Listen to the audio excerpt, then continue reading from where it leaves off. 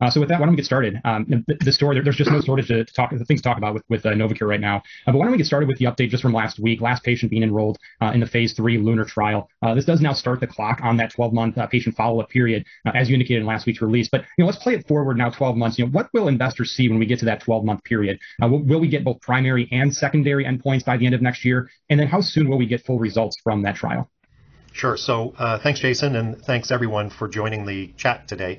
Um, as, as you mentioned, we had two uh, very uh, important milestones in our clinical program. Um, the first we actually announced was the last patient in in our Innovate trial in ovarian cancer, although the, the follow-up there's 18 months, so those data will be uh, available a little later. And then uh, the last patient in in our LUNAR uh, trial in, in second line non-small cell lung cancer that because of the 12 month follow-up uh, those data will be uh, will be available earlier. So the, the follow-up period is the time from the last patient in uh, to the end of the trial. Um, and as we approach uh, the the end of the trial we begin to do uh, data cleaning. Um, so it, this is not these large complex uh, oncology trials. It's not as if the, the date is on the uh, the 30th and then on the first, all of a sudden the data uh, are available. There is a period of time of uh, of, of, cleaning and uh, and sorting uh, the data. This is true for Novocure. It's true for Merck. It's true for all of the the trials.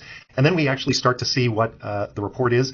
Our um, expectation is that we will press release what we call the top line data, uh, which basically gives everybody an indication of uh, uh, whether the trial's been successful uh, or not. Um, and then the full data set is typically uh, presented in the first opportunity of a, of a large medical conference. Um, again, this is the tradition in uh, in our industry to enable the the full data set to be presented at a at an ASCO or, or you know some uh, conference uh, like that for the, the medical community to, to see it. So it's a combination of a, of a top line press release and then a full uh, disclosure and discussion of the data at the first available medical conference.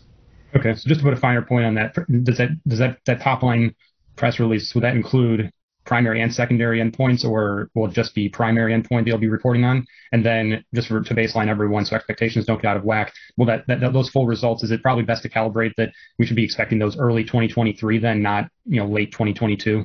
You know, I think it's probably a little early for me to answer any of those questions. Our goal is to get certainly let the market know as soon as possible. So as soon as we know, we don't like to be in the situation where there's data in the company uh, and you know risk of, uh, of of you know disclosure in a way that we don't want to. So our, our goal is as soon as we know to get the uh, the the data that's important to the market uh, out via press release, uh, and then the data that's important to the to the clinical community out as soon as possible in a medical conference. But it really is a two-part uh, process. But we want we want to get everything that's important uh, to the market out to the market without jeopardizing a very high-profile uh, presentation at a medical conference. Got it. Okay. Uh, fair enough. And then for for this new and potential new indication, you know, this is probably new for a lot of investors in the stock today. Um, maybe help with what this process looks like. You know, after we close up the the, the last patient follow up in, in, November of 22. You know, what happens when it comes to the regulatory submission process? Assuming the data looks good as you expect it will, um, is there anything you can do in advance of having that data in hand to prepare for that regulatory submission process? Yeah, so there's a lot. Uh, and in fact, we're doing it already. So, first of all, what's the process? So, we, we do the same uh, data uh, cleaning. And in fact, the data cleaning is really for the regulatory process. You know, the, the secondary uh, uh, byproduct is the press release that I described, uh, presentation at a medical conference, and then ultimately publication in a peer review uh, journal. But the real process is to get the data ready for the FDA and the other international uh, regulators. Uh, that is, I'll, I'll, focus on the FDA, uh, but the process is similar in the other uh, geographies. We then submit. Uh, we are governed by the PMA process at the FDA. this is for those you know medtech folks is the more rigorous of the of the medical device pathways. Um, and then the FDA has 180 days uh, to work on and review uh, the data. Now, what can we do ahead of time? That, that process will include uh, site uh, uh, inspections uh, and and visits. Those are random, you know, so they don't go to every site, every center, but they'll go to um, many of them. and it's usually the sites that have the highest volume of patients. Um, so we begin to work with those sites to prepare them for their uh, FDA audits. Uh, the submission also has a, a number of modules. Um, the, the module that we're talking about now is the clinical module, uh, but the, there's also a uh, a device module uh, that's based on the on the design of the device. This device will be very similar to our mesothelioma uh, product that's already approved. So that that module, that part of the submission, um, you know, so quite frankly, it's already in very good shape, but it will be uh, any, any, you know modifications to that part of the submission that are specific to non-small cell lung cancer are already being worked on. Um, so it's so we get everything ready, we get the sites ready, and then we pull together the clinical module as soon as the data are uh, are, are available.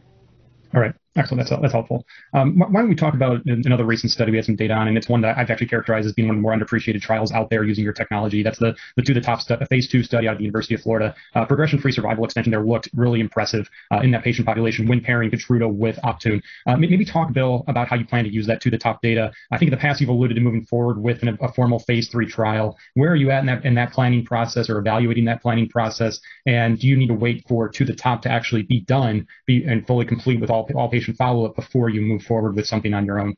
Yeah. So um, so thanks for asking that. I, in, in, many respects, I think these are some of the most important results that uh, um, that we've presented. So, so why do I say that? So first of all, for everyone, To the Top is an open-label phase two study uh, that was conducted by Dr. David Tran at the University of uh, Florida. David leads the, uh, the, the brain cancer uh, clinical and research activity at uh, university. Um, the, this is a so-called investigator-sponsor trial, so it's not a Novocure sponsor trial. This was a uh, an idea of David's that he submitted to the company, and uh, and we agreed to fund. Um, and it was based on preclinical research that he and others performed that showed that uh, while there there are many tumor types, and, and uh, Keytruda has been tried in large studies uh, to with GBM and has shown no benefit. Nivo, you know, Bristol's product, has also been tried and has shown no benefit. But what David saw when he combined uh, well, he added Keytruda after starting treating with tumor treating fields, was that tumor treating fields activated the immune system to make it susceptible, if you will, to the uh, effects of Keytruda. You know, to put it really uh, simply, took a cold tumor and turned it hot uh, to uh, immunotherapy. so, uh, so he then moved into a phase two trial, and importantly, many phase two trials have, in GB, GBM specifically, have I, I would say given a false positive. What do I mean by that? The last 35 or so drug trials uh, in GBM have all, phase three trials have all failed. Many of them have happened after a phase two trial showed promising results.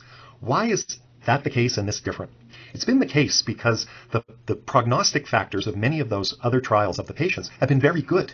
The patients have been young, they've been healthy, they've had uh, uh, their methylation status, their MGMT status has been positive, which means then that their uh, uh, expectancy, their life expectancy is longer. And then those trials were compared to the old Roger Stupp, original New England Journal of Medicine uh, standard of care. And they say, gee, these patients did better than, than, the, than the, the, the Stupp protocol in the New England Journal of Medicine 15 years ago, must be promising. Why is this different? This is different because the prognostic factors of the patients that Tran recruited were among the worst. So 72% of these patients were MGMT negative. These are the patients for whom uh, uh, temozolomide, TMZ, has no benefit. Many of the patients were biopsy only, meaning that they had multifocal tumors that were not amenable uh, to surgery.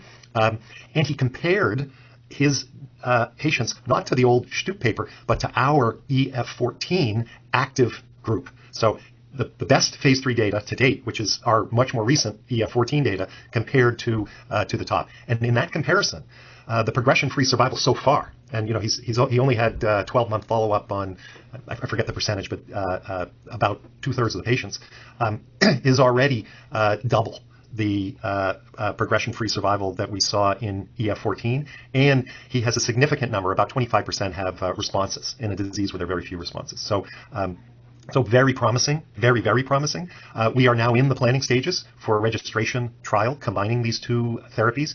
And these are the data that underpinned our partnership with Merck in non-small cell lung cancer. So under NDA, prior to this disclosure uh, last weekend, Merck had seen the data, had analyzed the data, uh, and determined to go forward with a program in their uh, key indication, right? Uh, first-line non-small cell lung cancer. And they're also the data that now underpin our partnership with Genentech uh, in metastatic uh, pancreatic cancer. So it, it's it's potentially great for GBM patients, but it's but it's much more. Um, it's much more. It has the potential to to activate whole classes of um, otherwise inactive solid tumors uh, to Keytruda and Nivo and the other anti-PD-1 and anti-PD-L1 immunotherapies.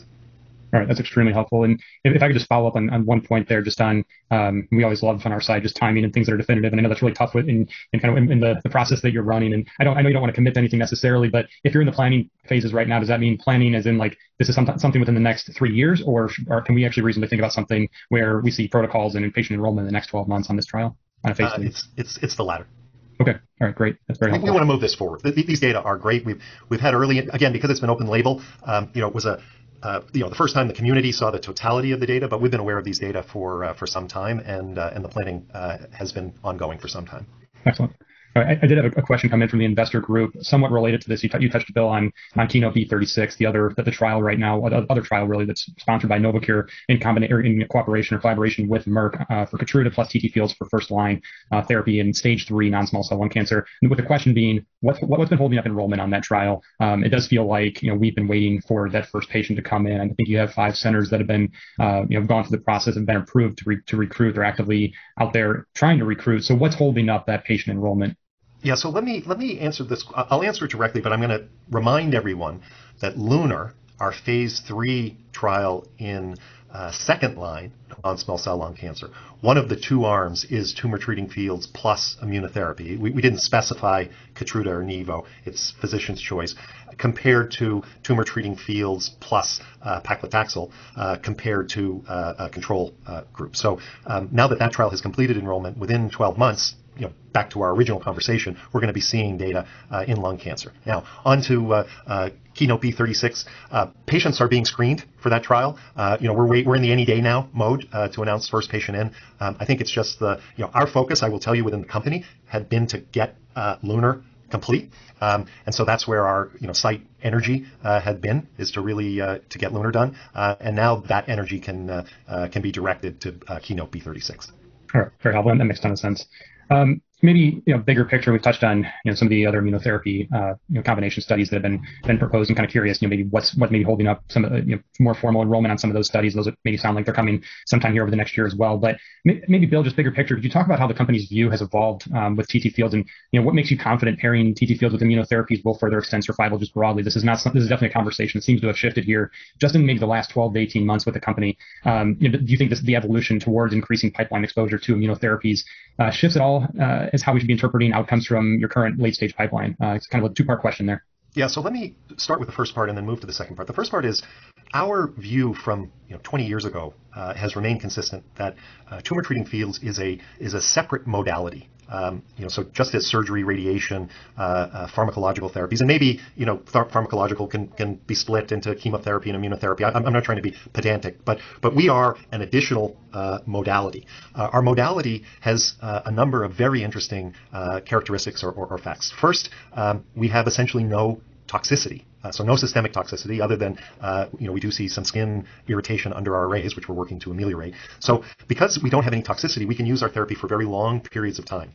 Um, we also see that it can be combined with radiation and pharmacological therapy. So we've, and when we combine it with these other therapies, we never see an intensification of the side effects of either our therapy or their therapy. So the side effects of the of, of our therapy remain, uh, you know, essentially non-toxic, and we don't uh, intensify the toxicity of the other other therapies.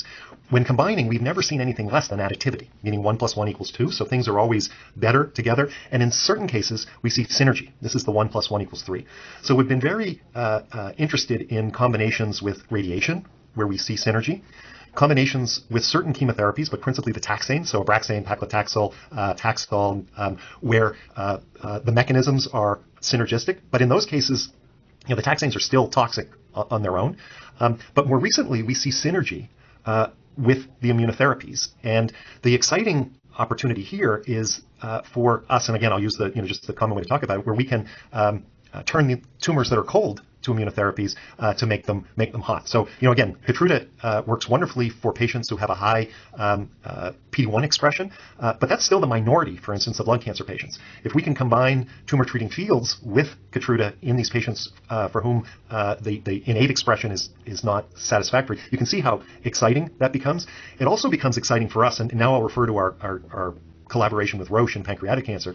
We are a regional therapy. So tumor treating fields, you know, we can treat the head, we can treat the chest, we can treat the abdomen. Um, but and in patients, what we've seen for patients with metastatic disease, uh, we extend their life, but those are not patients that we would expect to, you know, uh, you know, cure. Uh, where if we get the intensity right, we can we can cure GBM patients, we can cure patients where we treat the full extent of the disease.